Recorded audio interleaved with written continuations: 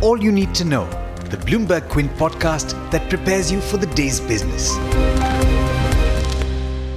Brought to you by IIFL Securities, India's leading broking firm. Good morning. We're at the end of the week. Over the next few minutes, we'll tell you everything that you need to know this Friday so you can spend just that extra time planning your weekend. I'm Alex Matthew, and this is the daily morning update from Bloomberg Quint. Today is the 29th of March.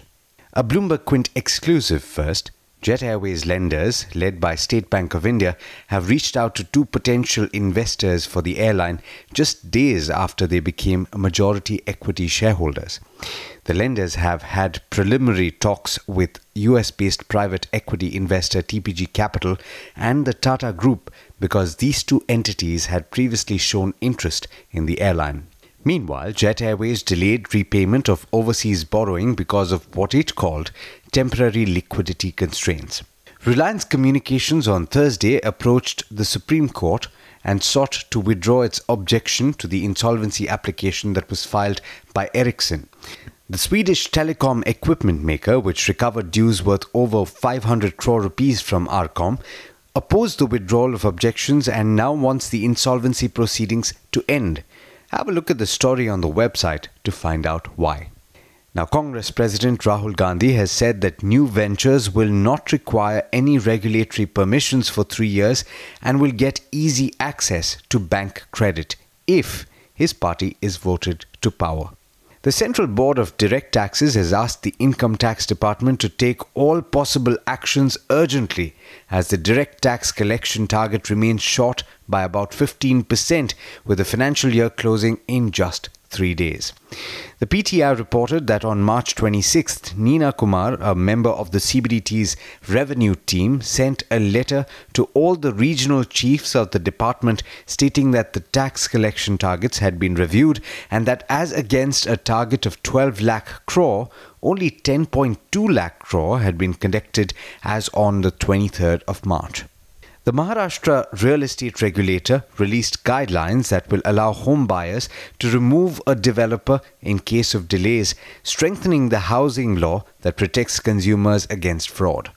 An association of home buyers with the consent of at least 51% of members can come together to remove a builder from a project. That's according to the new standard operating procedures.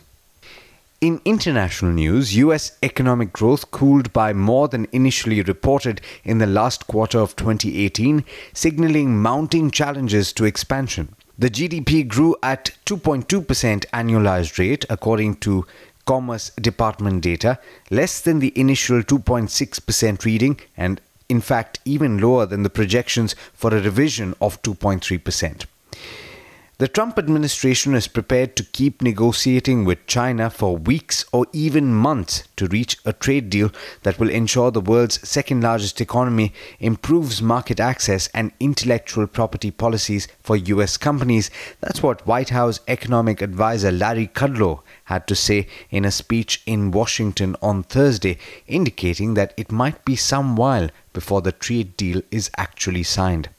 UK Prime Minister Theresa May is making a desperate push to get her Brexit deal approved in Parliament to avoid a huge delay to the split from the EU, even though she's facing what seem to be impossible odds. British members of Parliament who have already twice rejected May's deal will be asked to approve the withdrawal agreement in a vote. Asian equities could end the week positive after shares rose on Wall Street overnight. The three averages in the US all gained over three tenths of a percent. With that, it's over to Darshan Mehta for the trade setup for the day in India. Morning, Darshan. How are we looking to end the week here in India? Hi, Alex. Good morning. Good morning, everyone. As of now, the global cues are looking muted. The SGX Nifty is indicating a slight downtick. In terms of stocks to watch out for, watch out for WABCO India. They've said that the parent has entered into a definite agreement to sell all its outstanding shares in an all cash transaction uh, worth $7 billion to Friedrichshafen WABCO India will remain in focus as the acquirer will have to make an open offer for the public shareholders in India as per the SEBI guidelines. Jet Airways defaulted on a repayment of external commercial borrowing availed for working capital purposes due to temporary liquidity constraints. Action Accenture, the numbers were positive. They've raised the full year guidance. Uh, the implication is positive for the Indian IT companies. Tata Metaliks issues 28 lakh shares and 35 lakh convertible warrants to Tata Steel at 642 each. The total amount raised by the company stands at 404 crores. And because of this, Tata Steel's holding in the company will increase to 55% from the current 50%. BNP Paribas will look to sell 5.1% stake in SBI Life Insurance at 575 per share as per the term sheet that was seen by Bloomberg News. PFC REC deal is complete. The Power Finance Corporation has stated that they've acquired 52.6% stake of share capital of REC worth 14,500 crores from the government and now has become the holding company and promoter of REC. East India Hotel says that the Agra's property of Oberoi Amarvilas will be partially closed for renovation of 53 rooms from April 11th to September 30th. In terms of corporate actions, uh, today is the last day of the current Nifty. Uh, at the end of the day, Britannia will come in into the Nifty and HPCL will go out. Vodafone Idea X date for the rights issue, uh, and th- that is done at an issue of 87 is to 38. In terms of bulk deals, SBI Mutual Fund acquired half a percent stake in Britannia Industries.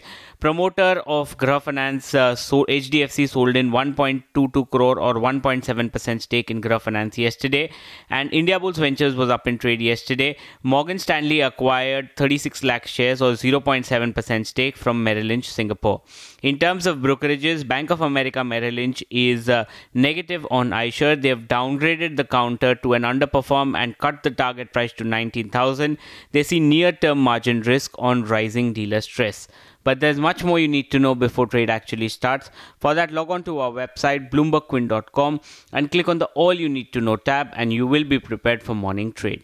Thanks, Darshan. Well, that's all we have for you in this podcast, but there's a lot more that will come up over the course of the day. Do have a lovely day and an even better weekend. This is Alex Matthews signing off.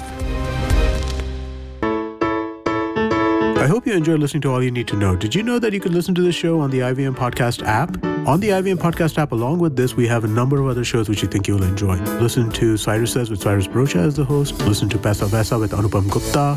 The Scene and the Unseen with Amit Varma or Shunya One hosted by Shiladitya Mukhopadhyay and myself. Check out the IVM Podcast app to get more talk content that you will enjoy.